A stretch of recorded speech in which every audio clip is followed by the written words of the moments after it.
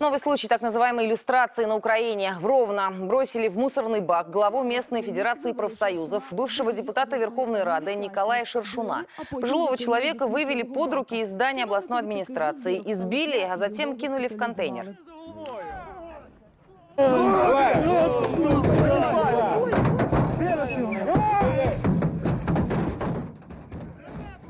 После всего этого мужчину пришлось Радикалы госпитализировать. Мусорная иллюстрация – ноу-хау украинских радикалов. Именно так они представляют себе процесс очищения власти. Людей обвиняют без суда и следствия и в буквальном смысле вышвыривают из кабинетов, нередко силой заставляя написать заявление об уходе.